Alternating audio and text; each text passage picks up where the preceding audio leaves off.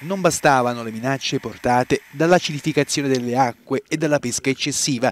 Gli oceani soffrono anche di una grave perdita di ossigeno. Lo rivela uno studio dell'International Union for the Conservation of Nature, basato sul lavoro di 67 esperti. Le acque degli oceani hanno perso il 2% dell'ossigeno tra il 1960 e il 2010 e perderanno un ulteriore 3-4% entro il 2100 a causa del riscaldamento globale. Nel rapporto presentato alla conferenza delle Nazioni Unite sui cambiamenti climatici in corso a Madrid si dà la colpa all'anidride carbonica causata dalle emissioni di gas serra.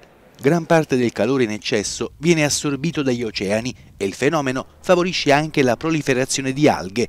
Lo studio individua oltre 900 aree costiere che sono soggette agli effetti dell'eutrofizzazione, cioè l'eccessivo arricchimento di acqua con sostanze nutritive. Negli anni 60 erano 45.